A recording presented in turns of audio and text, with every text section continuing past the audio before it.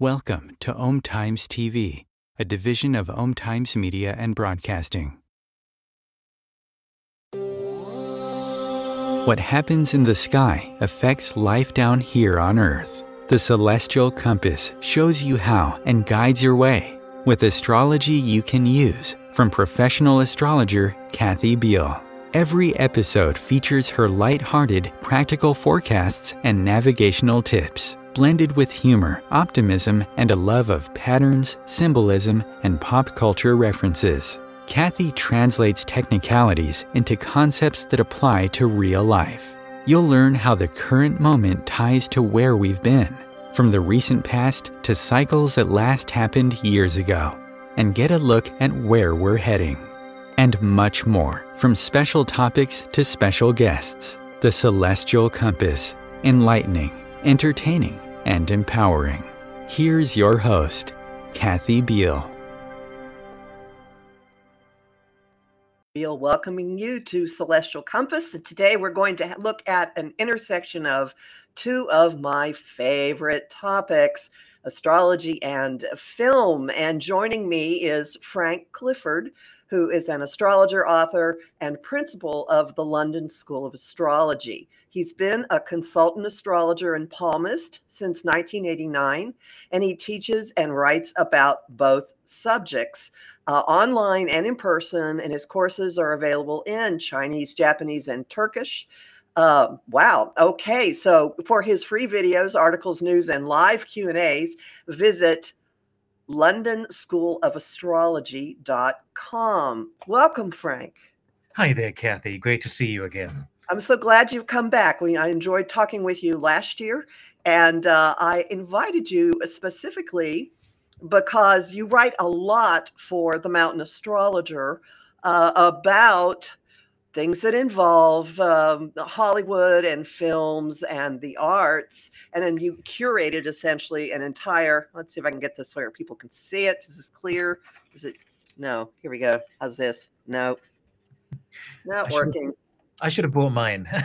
oh, well, entire issue of the Mountain Astrologer, uh, Astrology of Film. It was the Libra Equinox uh, September, November 2023 issue, which is still uh, available. Um, before we dive into any of the topics that were in that, I'm curious about your origin story. How did your love of film begin? Oh, well, that's interesting. Um, I've never given that much thought. I, I guess um, uh, I I loved film and TV and music and all those Neptunian delights for I guess since I was very very young. Um, going to the cinema when people used to go to the cinema was a great treat to just sit there and escape and just have uh, uh, real life or uh, faked or, or uh, you know the, just the whole um, uh, beauty of seeing stories told um, always interested in directing i did a um, a media degree uh, with a, the intent of wanting to be a director, oh. and then thought, mm, I'd much rather be an astrologer. I'd much rather do uh, what I love doing and what comes naturally. And so I came away from the degree at university thinking, not that impressed with what I'm learning, and ended up just staying with what I truly love to do, which was the astrology and the palmistry at the time. Yeah. Are there certain periods of uh, of film history that speak to you more than others? Um, I hmm, that's interesting. I, in some ways, I mean, I grew up in the 1980s. Uh, I was born in '73, so I really came into film watching the big blockbusters that uh, you know, the Spielbergs, the Back to the Futures, the Indiana Joneses, and they were fine. But I had a calling for uh, for people dramas you know so going back to the 40s going back to the 50s where they made uh, adult dramas one of my favorite films all about eve just the yeah, you know i just adore the interaction the story um, the human beings in the film so i was never that interested in action although i grew up in that time it was uh, the people the stories biographies have always excited me love learning astrology through biographies. So biographical films, biopics have always interested. But I guess, yeah, I guess the 50s and 40s and um, yes, that, that always um, uh, spoke to me more. Well, you've backed into an area mm-hmm. that I'd like to talk about, and probably inadvertently here, and that is there. Well, let's just start. Let's just start with Neptune. Would would you say that Neptune is a a significant influence on everything having to do with movies, film, TV? I yes, I think so. I obviously, if you something I did for the magazine was I tracked Neptune moving through the signs, and it takes 14 years to move through the signs, and it is the uh, Neptune represents whatever's fashionable in society. So it might be what people wear. When Neptune was in Capricorn in the 80s, so it was the shoulder pads, it was the power dressing, uh, it was the uh, dynasty in Dallas, and all of those sorts of things. Um, so Neptune has a lot to do with fashion and a lot to do with uh, fashions in film. So Neptune moving into Aquarius in 1997, 98, for those 14 years, the first thing we see is uh, the Truman Show. I think it arrived almost the day that Neptune moved in. And to me, that was really heralding our fascination with reality TV, the idea of being the voyeur, very Neptune in Aquarius, where in a way the famous become ordinary and the ordinary become famous. And Aquarius is the sign of the ordinary man, the ordinary woman. The shadow side of that, of course, is Leo, which is all about being secretly being the star, grabbing the karaoke mic and impressing everybody in a in a drunken bar, perhaps. Uh, so um, Neptune to me is the the symbol of of uh, film, literally the projection of fantasy out right. and into our heads.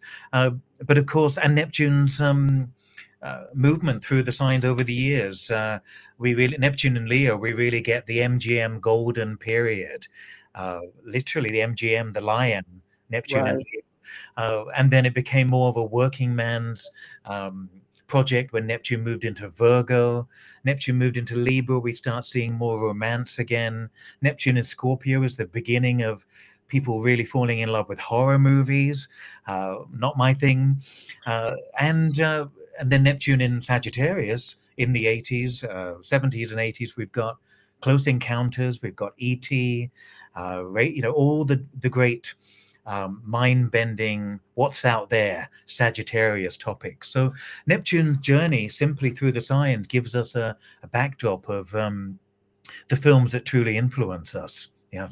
They also that that journey also reflects what was going on with the film industry. It's fascinating to me that Neptune was in Gemini when the first films started being shot and distributed, and they were all very very short. Yes. And and you would and people i think the was it the, the great train robbery the, at the very end the uh, the villain points his gun at the at the audience and this was they thought it was real. It was, it was terrifying to them. But then as it as as neptune progressed through the signs what i find most fascinating is out of this when it hit um, virgo uh, the Hays Code came into effect. Rules and borders and boundaries and this is the proper behavior and you may not do this. That's just astonishing to me that that happened. That's right. I mean virgo is the sign of the editor but it's also uh, the critic and they seem to dominate didn't they for so many years with with the Hays code. Uh, but going back to the end of the um, 19th century when uh, neptune and pluto were in gemini we've really got the birth of modern media and the freedom that gives us, the ability to connect uh, for millions of people to sit and watch the same experience, like the Oscar show that uh, yeah, we've just we just had. Um, so fascinating, fascinating. The the media sign of Gemini being uh, not quite the talkie, but certainly the scripts and the and the development of that. I think something I mentioned in the um, in the uh, issue and the film issue of back then it was about 90 seconds the short film and we've gone come full circle where a tiktok is 90 seconds now so we live in a still in a very gemini area say it fast get the point across nowadays it's because of boredom and we want to flick through something. If something doesn't catch us in a few seconds, we're off. Uh, but back then, it was it was the way to do it. It was exciting going to the flicks and uh, seeing a whole range of them. An interesting flick because it was the flickering light that uh, that that refers to specifically. Um, shifting gears just a tiny bit, have you ever, or I would imagine, have you been caught or struck by uh, a movie that shows up that speaks to a moment in time, or when something happens, of, of the film comes out and you see a correlation between current transits. I'm thinking specifically of the Barbie movie opening on Venus in Leo, retrograding last year and breaking every record imaginable for money and uh, views. That's right. Yes. I mean, you couldn't get more Venus in Leo than Barbie. I haven't seen it yet. Uh, and it seems to have rubbed some people up the wrong way, and other people seem to think it's it's a wonderful moment in history. Uh, the um, yes, yes. Um, so I haven't seen that, but certainly Venus and Leo would would uh, speak of that. I think probably becoming more aware of astrology in my teens and early 20s and then seeing films like inception or titanic and oh. seeing the connections there the big blockbusters that everybody was talking about uh, and seeing i think inception was um, at the beginning when uh, of neptune moving into pisces again where they you, mm-hmm. you fall into the dream and then you have to wake yourself up. It was very neptune in pisces and uranus in aries. So the blockbusters usually speak to more than one planet uh, and because we're always dealing with the three outer planets uranus neptune and pluto in different places speaking of bigger themes in the world at that time. So yes i, I must get round to seeing uh, to seeing barbie and the funny thing is the uh, the issue of the tma that you were talking about is um, i had a choice a couple of years ago of which issue to bring it out on depending on the time. So I looked at the ephemeris and I thought, Venus is going retrograde in Leo at the time of that uh, issue coming out. Sounds perfect for having another look. Retrograde is always about going back and reviewing and re-looking at something. So uh, had no idea Barbie was coming out or that it would be uh, as as uh, um, important as it was at the time, but very interesting. Uh, and the the owner of the TMA laughed about that, about the timing of it, because it just seemed to click in well with all of a sudden cinema, Oppenheimer, and uh, and Barbie being the two uh, the two films of the season. Yeah, that fit perfectly. Yeah.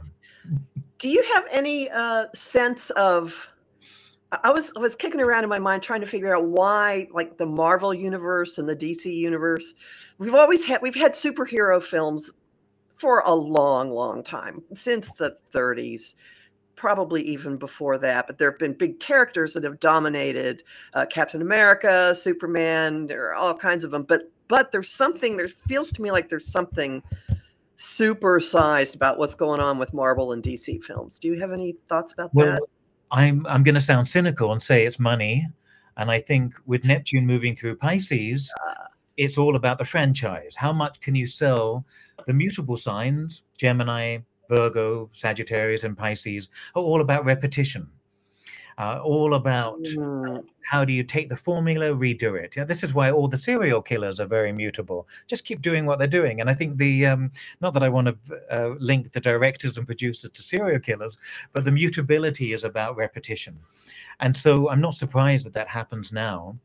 Uh, I'll talk to you in a bit about Neptune moving into Aries. That might be very, right. Yeah, that is very much on my on my um, mind. But um, I also think just generally, uh, we we go to the cinema, we flick on Netflix, we you know we we connect to movies because it resonates with something at the core of who we are. It tells a story, and so the sun in the chart, our sun sign, our birth sign, star sign, whatever you call it, um, the sun sign is really uh, the essence of who we are, and that's to do with being the hero. And each one of us has that calling Joseph Campbell. Uh, yeah, I was just going to say him. I was just going to yeah, invoke Joseph him. Campbell uh, was the big one, and we know how many filmmakers that Joseph Campbell influenced. You know, everything from uh, the the Star Wars work to uh, the Lord of the Rings to Superman. You know, um, th- that is a theme that we see throughout history the need to be the hero, the heroine, uh, the need to, in a way, discover who we were born to be. And that's what the hero does. And ideally, we make choices that uh, that are um, a positive for us and other people. So I think the hero thing will remain as long as there's there are stories to tell. It's a bit like Mercury is the planet of telling the story. Mm-hmm. Neptune will be projecting it, and Jupiter will be promoting it. Uh, but the sun is the core, that that individual life story. So I think that will always appeal, regardless of where the planets are. There just seem to be stretches of time with dominant dominant themes. A lot of people um, will refer to uh, the 70s coming out of uh, the films coming out of the United States in the 70s as being like a great, a, very, a great, great period. And there were things that would hit social justice or big issues that people didn't uh, otherwise want to talk about. Uh, some really, really major things. And um, I don't know, I could see the Neptune and Sagittarius being part of that. That also weirdly coincided with um, cowboy craze for some reason. And uh, I mean, Urban Cowboy was part of it, but it was it was bigger than that. And um, Renaissance festivals taking off in the United States, which fits in a, a, very kind of weird, let's all just go play dress up in the forest, which seems to be in its own renaissance these days uh, with a different vibe. Um, well, I think I link the cowboy to Sagittarius. Right. Uh, in both way, both meanings. So, I mean, we've got as a Brit looking at America with potentially Sagittarius rising, depending on which astrology you you follow. Um, it's it's the cowboys and Indians. It's that that what we grew up playing or watching on the screen. And so Cowboy is very intricately part, uh, connected to America's Sagittarius ascendant. Um, cowboys, on the other hand, are people that are con artists, what we call cowboys. Um, that's the other side of Sagittarius, taking advantage of people's uh, generosity or opportunity. But yeah, I would look at cowboys as being very Sagittarian. But at the same time, you've got um, The Godfather in the 70s. You've got, uh, I, yes, I think you're absolutely right. It's the it's um one of it's the modern golden age of film, mm-hmm. and I find myself watching the Oscars every now and then. Um, I used to stay up live and watch it, you know, watch it live and all the way through the night over here. But um, I find it's very easy to forget who won last year, uh, which films are interesting. But when you go back and you watch the winners in the in the earlier decades Eh, really from the 40s onwards, but particularly 70s and 80s, um, they're people that uh, really have stamped their personality, stamped their mark. Uh, and they seem to be, I guess, legendary figures, uh, living or, or, otherwise. So uh, it doesn't have that same uh, appeal. It feels rather watered down these days, in my opinion. Uh, but there's still an excitement with it, and I still love watching the red carpet, who you might see, and it, it brings me back to the early days of watching them in the 1980s. Uh, so that was always an exciting time. The Neptunian glamour of it comes through. Yeah, it is. Uh, yes. This is a special moment, right? Yeah. Um,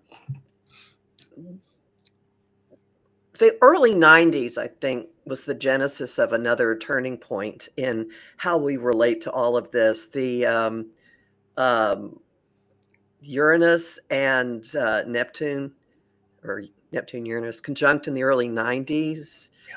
seems to that was the doorway to the the web becoming something, the World Wide Web, now the internet, uh, information highway, whatever we have, many things we called it then but that has started changing and in a weird way uranus democratizing um, being creators. We'd see that on tiktok and on instagram is turning into a mini tiktok like oh i don't want to see this stuff. There's a there's a video everywhere i turn. I'm sick of the reels. Make it quit. Um, sorry there's my uh, my own little soapbox here.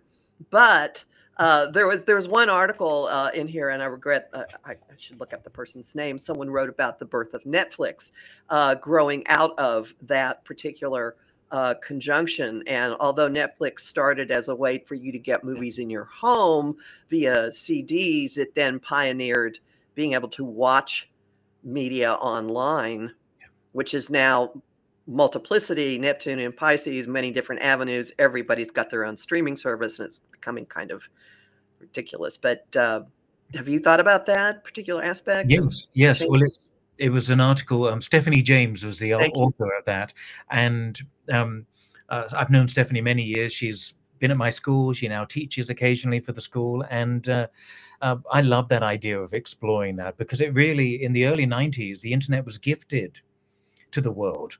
It didn't. Um, I know it's cost us in different ways over the years, but it's um, it was gifted, and I think it's, I think, such a quantum leap, which is probably a great phrase for uh, Uranus Neptune, uh, quantum leap for people who were born around that time or after of how they digested, ingested what we're what we look at and what we consider film. And yes, democracy certainly, and also it gives us control.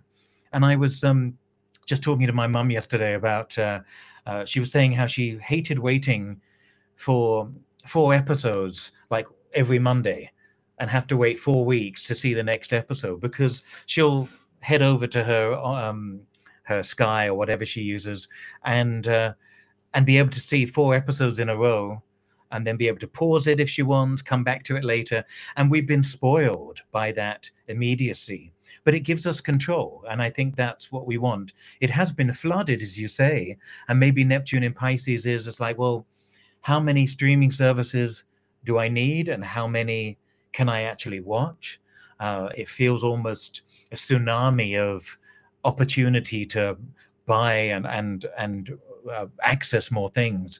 I also think the the great trend at the moment, of course, is uh, or maybe it's just me, I don't know. Uh, the great trend is um, uh, the constant uh, flood of uh, true crime documentaries you know and uh, netflix themselves are a bit guilty of making something six episodes when it could be four. And you sit there and you think okay this is the filler episode where can you just get to the point? But it's um, there's a huge just so much. It's almost um, i mean it's intoxicating in that pisces way in that neptunian way. It's addictive and we binge and we might spend the whole day instead of going for a walk or chatting with each other we're we're watching and we're absorbing. And it's so easy to just press next episode you know? Mm-hmm. it does it for us. Uh, so times have changed but it is really that seed. And i think it comes down to uh, just experiencing the world so differently as you know. And i think people born around that time and a lot of my students were originally they popped up uh, or not originally, maybe in the last 10 years, were more 89, 92. Now they're much younger. And I've got students being born in like uh, 2005, which is uh, it's a leap of consciousness there trying to imagine 2005 people uh, studying astrology um, but the early 90s seemed to be this uh, this powerful intake and now a lot of my students are students of that generation using astrology online, um, seeing the world in such different ways. And hopefully they'll be the wakers up, the shakers, and they'll be the, in a way, the salvation of the future. Um, or they'll also be the ones that don't want to work, uh, don't want to be activated. But you know, there's it's the millennials are a bunch of fascinating, brilliant people born around that time um, and the flip side of that is that half of the generation might just simply veg out sitting watching Netflix until they expire. You know, it's a it's a mixed bag as it always would be. Yeah. Off topic, but of interest here. One of the recent one of the tarot decks that has been given to me recently is the Millennial Tarot, and it's got avocados on the back of it, and everything, every single card is absolutely self-evident. One of them is IDK. I don't know. just you know, there it has all the um, shorthand notions that you run into online for communication. Only it's in visual and deck form. I like to take it to parties with people significantly younger than I am. They resonate with it. It's very fun. Um, I think, I, I think it's playful, but it also it's important not to dumb down that generation or think they're just the generation of internet and uh, and social media because um, there's going to be a point where we're going to will as older generations will recognize why they're here what they can be doing for us. Uh, so yes i'm intrigued by that and um, i'm the first to think yeah i can't wait to learn from them. Uh, i can't wait to for them to inspire me. And they're already doing that of course as students but it would be interesting to be aware of that as, as a generation. They'll they'll network differently than the earlier generations did. That is for certain. Um, there's so many ways we could go from that but we're coming up towards uh, a break so i don't want to uh, dive into that. Uh, during the break uh, please think if there are any uh, particular clusters of time or films that you associate with. I mean, like when I'm watching, sometimes I'll see something on television or on a streaming service, and it'll crystallize in my mind as a depiction of a transit that's happening right now, or I'll be compelled to go look at what was going on with in a biopic, for example, what what in that person's chart is being activated at this moment that suddenly they're back in the limelight. So um, if you have any of those kinds of notions floating around your head, see if they can come up. And we will take our first break, our only break right now. So hang around, people. We've got lots more to talk about. Om Times TV. Want help with your own celestial compass? Visit my site, empowermentunlimited.net, for Astro Insight forecasts for each week, month, and new and full moon. Want to explore the personal impact? Make a decision? Understand another person? it is possible. Click the Services tab to book a personal session with me. That address again? empowermentunlimited.net. Imagine becoming a super influencer. Reinvent yourself invest in your brand, and then manifest your success with a robust spheric approach. Om Times Media and Broadcasting offers a unique and multifaceted way to become the spiritual and conscious influencer you deserve to be by putting your message across our powerful platform with its proven record of integrity and excellence. Through our produced shows, Om Times offers the opportunity to become a social media TV personality, a radio show host, an Om Times magazine columnist, and a syndicated podcaster, all in one shot. By live streaming your show on Om Times TV and broadcasting it across the extensive Om Times radio and TV networks, you become more than a host. You become an ambassador and a force for positive change. Om Times. Open yourself to the possibilities. If I could be you, and you could be me for just one hour. If we could find a way to get inside each other's minds. Walk a mile in my shoes. Walk a mile in my shoes. Well, before you abuse, criticize, and accuse, walk a mile in my shoes. Welcome back to Celestial Compass. I see I knocked my camera during the break. Uh, this is Kathy Biehl, and we're talking today with Frank Clifford, astrologer, author, and principal of the London School of Economics. And we have been talking about astrology and film. Um, I had earlier given the example of the Barbie movie premiering with Venus retrograding in Leo. Um, but also there are, there are times when something will come out and I will be immediately struck that perhaps the actor is having a mass something that's really important like Colin Firth in the King's speech having his Chiron return about the King's Chiron return. Uh, are there any examples that occur to you of a, an interplay between current skies and stuff on film? Oh, I think um, there are a huge number, aren't there? Um, I have to really think about them. I was looking at the chart of Robert Downey Jr., of course, who just oh. won the Oscar, and uh, he's just having his Saturn return this week. Uh, and looking back 29 years ago, which is what we do when we're when we're mm-hmm. astrologers and try to make connections, um, was the time where he was really at his peak, but then went off the rails. And I would imagine that Saturn in Pisces, his Saturn return now, is is um, time for redemption in a way, a sense of feeling coming back to a community that has probably already been always been there for him, but perhaps um, uh, the self-destructive side was uh, uh, was was too strong. But uh, so he's sort of come back home in a way. It was really interesting to think of that. Um, but one of the other areas that really interests me is um, why certain actors are picked for certain roles. Uh-huh. And I've written about that in the past, where uh, there's what we call direct synastry, you know, inter aspects between them. So uh, Robert Downey Jr. in Aries um, uh, played uh, Charlie Chaplin, of course, famously in his 20s, who's another Aries, and they have lots of connections in their charts. So it feels like, um, even without understanding it, uh, directors pick the right people or, or producers pick the right people for roles that absolutely resonate on a celestial level, on a planetary level.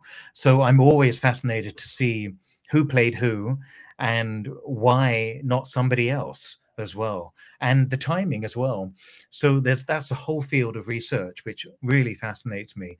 Um, and i would say that it's a there's a resonance there with a particular sign. It might be your ascendant sign or your sun sign uh, that uh, attract somebody wanting to play you or vice versa. You know that sense of really um, really connecting with the essence of somebody uh, and many years ago one of the first jobs i ever got out um, uh, uh, when i was out of university was um, a director hired me for um, he said i gather you can do this. And i said sure i can you know i'm 21 and uh, uh, uh, bolder than perhaps i am now maybe. Um, and said I've got four actors in mind for this role, and it was for the role of Janis Joplin.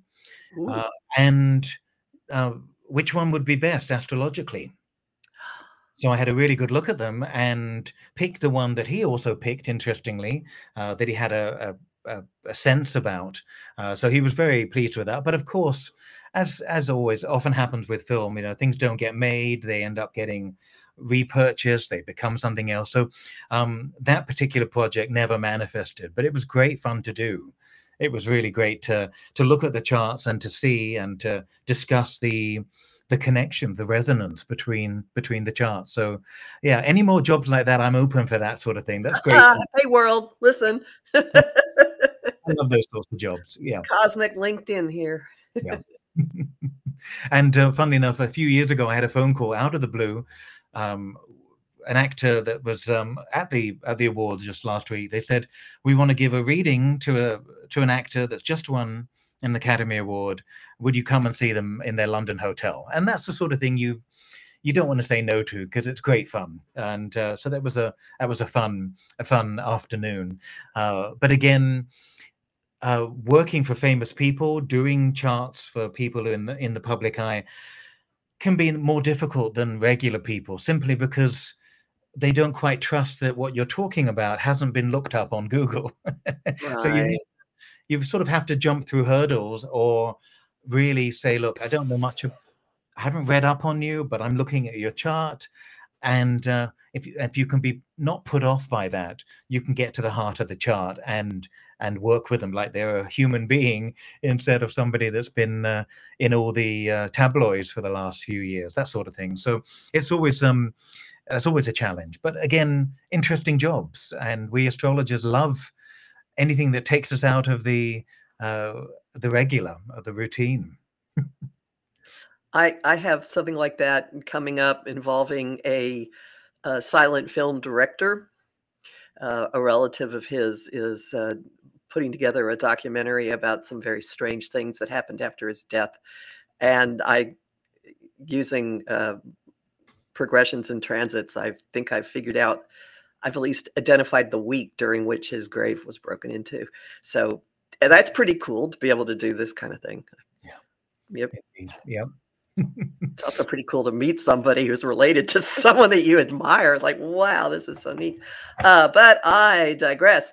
Um, let's talk about where things are going because you we've talked a little bit about we've talked a lot about Neptune and it will soon be changing sign and it will be changing signs uh, in a way that will be very very different than what we've been undergoing and it will also be meeting up with Saturn at some point uh, after it does that and that is uh, Neptune moving into Aries. Do you have a sense how we're going to go from this multiplicity um, I I don't see it continuing. I don't see the financial viability of of fifty thousand um, streaming services and Neptune going into Aries has an awful lot to do with the individual. Uh, excuse me, the individual calling the shots. Yes, that's my feeling about it. If we look at what happened when Uranus moved into Aries. Um, 2010, around that time, what we saw a lot more of was the sort of DIY in your bedroom, creating music, creating something. You know, so um, with music, often music is is more instant. It's often for it's often ahead of film in mm-hmm. some ways. Uh, so looking back then, watching people making music. Uh, and being able to sell it on the internet, but just doing it from their bedroom, for instance, feels very Aries, being in charge. Uh, it's expressing your individuality. So I imagine when Neptune moves in a couple of years in into into Aries, we'll have that sense of filmmakers uh, creating their own work, uh, back to the auteur, back to the idea of uh, yes, I made this and edited it in my in my backyard, that sort of thing. So I think it's going to be less of the dynamic, huge sense of everybody needs to put in tens of millions of dollars and that whole game that's played. And I think it will come back more to the individual. The other thing happening, of course, I mean, we've got major, major shifts, and you'll, mm. be talking about them uh, for for the next few years on your show. And one of the other things, apart from Pluto moving into Aquarius, um, Uranus moves into Gemini. Mm-hmm. And what I'm fascinated with, and I'm, I'm going to be in America at NORWAC, the um, conference in uh, Seattle in May. I'm going to be talking about uh, freedom of speech and Uranus. And I'm going to have to tread a little, bit carefully so nobody decides to cancel me or uh, shoot me on stage or anything like that. Uh, I better not be saying those things. Um, and Uranus in Gemini, uh, from about a year, a year and a half from now, I forget the exact date, uh, the big battle, the big war is going to be on words. We're already seeing uh, books being taken off the shelf, banned for some reason, altered because there are things that are offensive about them or appearing to be offensive to people. And I'm fascinated with that because we need Uranus. We need to stay offensive rather than cushioned. It's a bit like if you've got a pain, do you really want to just drug yourself into a stupor or do you want to just feel it work through it and get through it you know so there's something about um, numbing people's senses that we're getting with neptune in pisces and this sort of right or wrong that feels very uranus and taurus right now mm. and i want to say if you're offended switch off if you're offended speak up but if we take out the offense and we end up editing uh, books and things from the past, um, and we end up canceling people over that. It says something about not looking at the problem and not finding a solution, just simply eliminating the issue. So uh, that's uh, that's my soapbox moment, Kathy. Um, so I'm I'm watching that at the moment take place and thinking that's bound to appear in film. That's mm-hmm. bound to come up where we're already getting that with AI and Pluto moving into Aquarius. But in mm-hmm. terms of what people say or allowed to say, it's going to be such a major issue. Uranus is in Gemini in the US chart as well, um, along with Mars. and it's going to be a big issue in America. Definitely, we know that already. It's it's brewing, uh, but it's going to be a fundamental issue in film of uh, you know, is that going to be cancelled before we get a chance to hear it? I want to be provoked sometimes, you know. Uranian people and Uranus are here in our lives to remind us what it is we don't find acceptable. And if you numb them, silence them, throw them away, block them, cancel them, stick them in a cupboard, um, there's uh, we're almost looking for trouble. you know, and the interesting thing is the last time Uranus was in Gemini, the final week, as it was at 29 Gemini, right at the end of the sign, the um, the book 1984 was published. So we're coming back to, and it's being used the idea of being woke, too woke, not woke enough.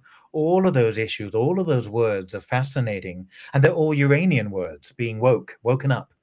Uh, so we're at a time where Neptune in Aries is going to say, hang on a minute, what about the individual? What about fighting for something instead of just letting it disappear or, or muting it, which is what Pisces can do, or ignoring the issue? And Uranus and Gemini will come along and say, we've got to fight for the right to keep expressing ourselves.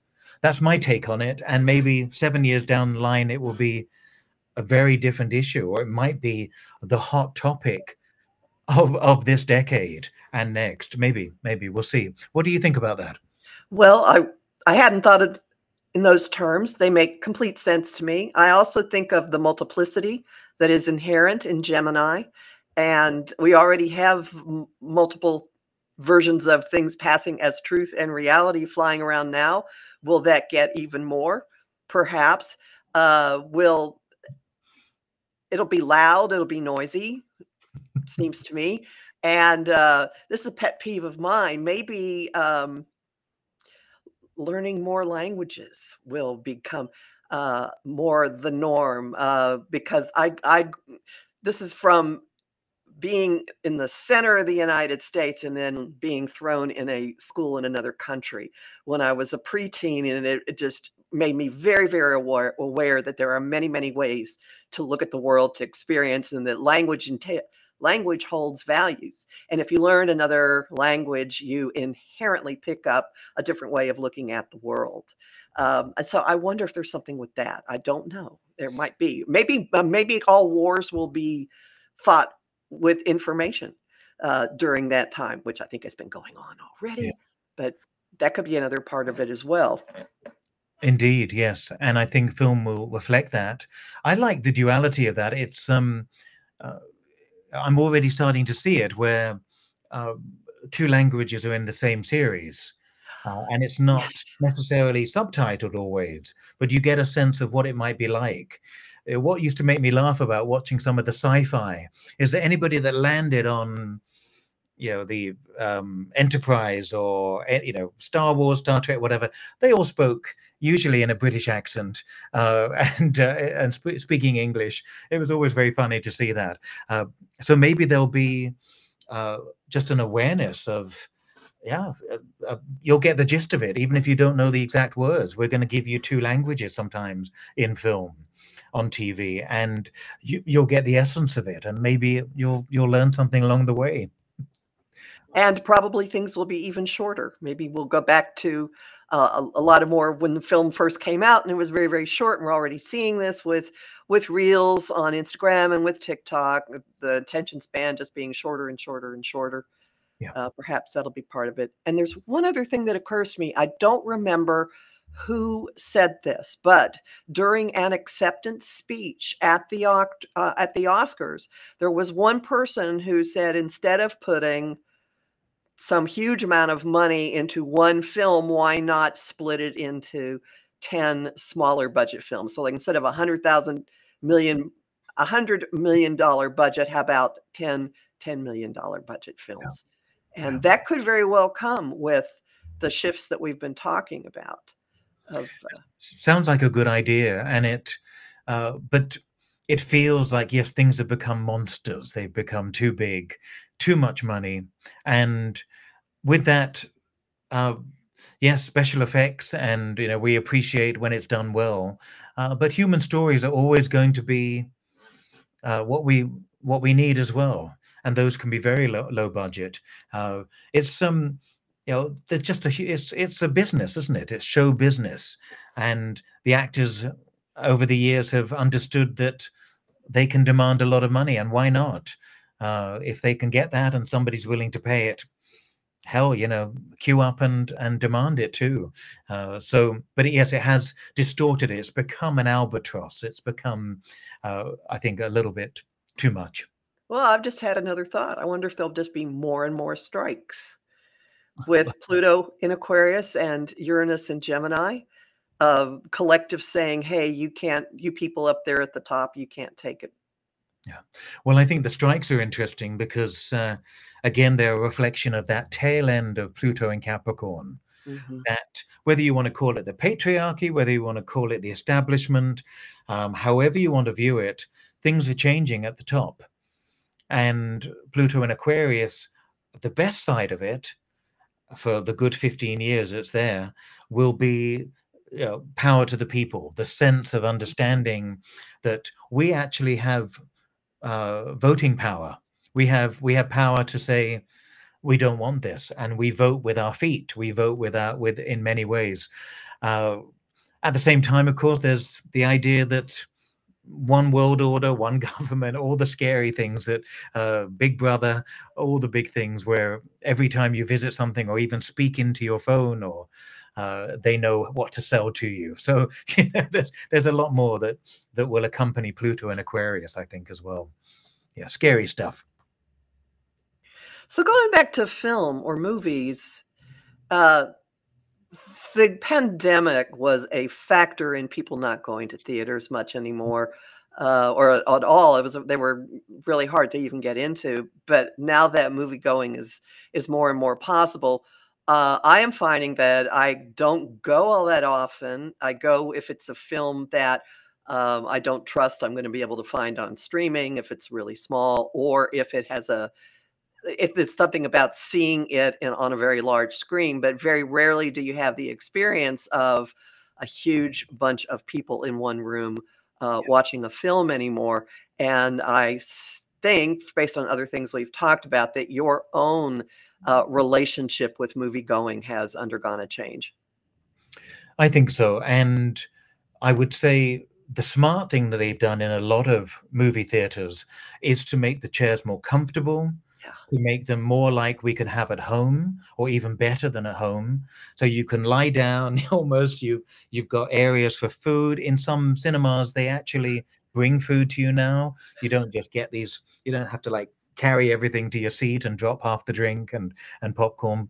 So they've turned it into a theater, cinema, stroke, restaurant, stroke, uh, and they're they're the clever people doing that, because do you? I mean, in England, I was saying this before we started. You know, in England, you'd you'd get into an old uh, cinema, and your feet would almost stick to the floor just from moving from one side to the other because of all the crap that's been but dropped there over the months and years. And I, I, was saying to you before, you know, I've been in cinemas where there have been rats running around uh, looking for food. So, and uh, you don't really want rats in the dark unless you're what you know, unless you're part of a Halloween movie and you're Jamie yeah, no. screaming the place down. Um, so um, I think what they've done is to turn it from being quite a grotty experience into something more comfortable. And uh, that is the best way to go. And remember, the 2020 conjunction of Saturn and Pluto was in Capricorn. Mm-hmm. Uh, which of course spoke about the lockdown, the breakdown of society, the rules, all of those Capricorn things. But anytime you have major planetary shifts, we always look at the opposite sign too, don't we? And what it really affected was the home. Cancer is yes. Cancer is the opposite sign of Capricorn. So, um, in a way, it was the inevitable dying off of us wanting to go to work, wanting to work in an office, wanting to leave the home. And so that idea of being, you know, Pluto and Aquarius now, we're all going to be connected, but we're all going to be distant. And the young generation don't want to go into work. They want to be able to click on and do a bit of work at 11 a.m. and then work in their own time. And things have changed on that. So it's not just been the crisis and the illness that came with that and and the panic and all the different terrible things that resulted the businesses lost it's also encouraged people to do what they were naturally almost looking for permission to do, and that is to stay at home, uh, watch cinema in their living rooms, um, project it. I moved house last year, and we have um, uh, on the top floor we have a room that was uh, used to have a big TV. In fact, the people who owned this house had TVs in every room, which made me laugh because I'm thinking, I, I like a bit of quiet sometimes, you know, uh, if you can believe that. And um, so we ended up getting a projector. So we've got a little projector in between the two of us, our two comfortable seats, and that projects a huge screen instead of getting something that could easily break or the cleaner comes around and accidentally knocks it and it's cracked. So uh, things are changing and people are becoming sort of kings of their castle again when it comes to movies and cinema and home entertainment in a way. And we've all been edging towards that. But I think that conjunction really was the death knell, it was that final nail in the coffin of going to work and having to uh, sit in an office. And I mean, it's still there, but it's just, it's changed and I think it's the birth of that change, really, and and to do with cinema and movie theaters as well being horrible and grotty. That's so funny to hear you say this because it was in London that I had my first experience of buying a movie ticket with an assigned seat. That was for Terry Gilliam's Time Bandits. That gives my age. And um, also uh, having people walking up and down the aisles selling um, snacks. That was the first time I experienced that. It's almost like there was a the trolley was going around. Uh, well, they still they still do that in theaters, but in uh, cinemas you don't get that in cinemas. But I remember them, you know, with the trolleys or, or the everything on their shoulders, uh, drinks, lemon drinks, and orange drinks and stuff. Yes, that was great fun. But no, theaters still do that. That's always not the movie theaters. Oh well. Yeah. yeah. Um, well, things are just going to continue evolving. It seems uh, probable. No, no change in that. And uh, uh, I suspect that there's going to be quite a quickening, probably 2025, 2026. Suddenly, massive, massive change very, very rapidly. So even what we're experiencing right now, unlikely to still be the situation um, in two years, even. Mm-hmm. Would you you would agree with that then? I think so. And the planets are moving from the nighttime signs or feminine signs, uh, whatever, however you want to label them, because uh, we no longer live in a binary world. Uh, that's what we're we're aware of at the moment. Um, but in astrology, they're either masculine or feminine, or day or night, and the three outer planets are moving from the so-called feminine signs to masculine signs. So uh, the meaning of that is in the sense of more out there, more dynamic, more obvious change than the sort of introverted inner landscape that has been change been in the process for so many years with the with the feminine signs being activated so it's a dynamic time and i hope people find their identities again in many ways you know and uh it's yeah yeah Pisces, the neptune in pisces has been such an interesting journey of searching for something. Yeah. Um, steering clear of labels, because that's Virgo, the opposite of Pisces, uh, and trying to work out what it is, who am I, what do I like, where am I going, has been the big um, news story, is the big social change uh, in the last 13 years, really, the last 12, 13 years. So, um, but with Aries, it feels like there's more of a, a statement, a definitive or some sort of definite statement about that.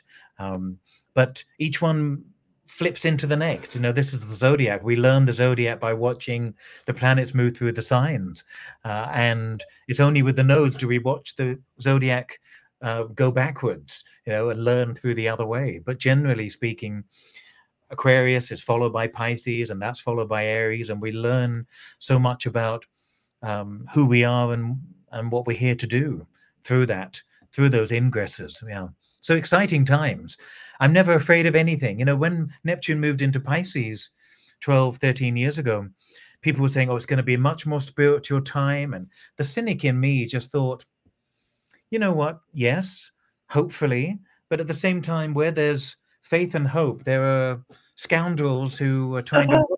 trying to rob you of that. You know, there's always the flip side of of things. So and there are weed shops everywhere now. Get hit by the smell of everything. Yes. Um, so it's so interesting how that. Uh, yeah, I, I, would say to everyone, don't be afraid of that. I had an email the other day from uh, a potential client saying, I'm scared to death of Pluto moving into my sign. And she must have read something. Oh, yeah. Stupid, something a little bit ignorant or ill informed uh, online. You know, I always say free content is often content free, and you have to be careful what you read. And she was terrified of what Pluto might mean. And one of the first things I do with my students is to say, well, go back and look at how much Pluto you've already had, and you're right. still here. right you're still here. So um, how bad do you think it might be? You know, um, so for me, I'm excited to embrace all the new the new ingresses of Pluto into Aquarius, Neptune into Aries, Uranus into Gemini. Um, it's going to be a, a fascinating time, and what you do with it is down to you. I'm not waiting.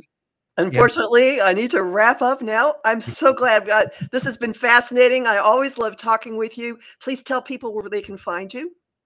Oh, they can go to londonschoolastrology.com and uh, sign up there, and we get lots of freebies and articles and uh, all sorts of things. So they're very welcome to see me there. Well, I thank you very, very much. It's always a pleasure talking with you. And everyone, look for the forecasts. My forecasts are at omtimes.com and my site, empowermentunlimited.net. And uh, when you go to the movies now, think about what does this have to do with what's going on astrologically? Could be an interesting uh, exercise for you. So thanks again, Frank. Thanks, Kathy. Bye-bye. Bye.